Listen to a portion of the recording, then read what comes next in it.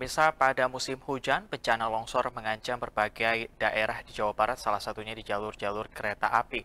Untuk mencegah terjadinya longsor yang bisa mengakibatkan gangguan pada perjalanan kereta api, tanaman akar wangi atau ventiver pun ditanami di jalur yang rawan longsor non-struktural.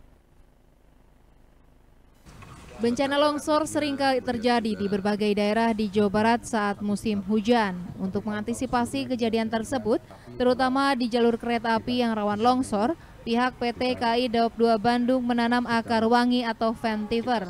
Menurut Eksekutif Vice President Daop 2 Bandung, Takdir Santoso, penanaman akar wangi dilakukan di jalur rawan longsor non-struktural, khususnya di jalur utama di sekitar Tasikmalaya, Nagreg, Cipendei, Padalarang, Cilame, hingga Ciganea.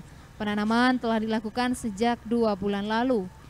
Kalau efektifnya kita di lokasi-lokasi yang bantuan khusus itu kita tanami khusus dengan akar wangi.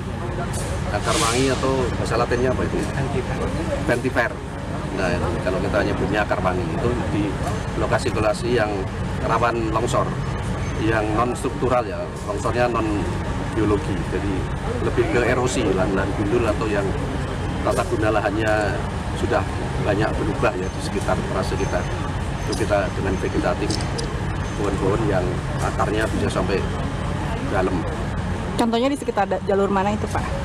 jalurnya jalur utama ini di sekitar Tasik dan sekitarnya, kemudian Nagrek sekitarnya, Cipende, kemudian yang arah baratnya pada Larang Cilame, Ciganea itu sudah mulai berjalan. Selain di jalur rawan longsor, penanaman pohon pun dilakukan di seluruh wilayah Daop 2 mulai dari stasiun Banjar sampai Cibungur, juga di sisi selatan arah Garut dan Bogor.